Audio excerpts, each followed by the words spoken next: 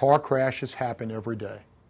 Nobody goes out and means to have a car accident, but they happen because people run stop signs, they, ra- they run red lights, they drive recklessly, they speed, and they make illegal turns. Our firm has had years of experience representing thousands of people who have been injured, who have lost loved ones in car crashes.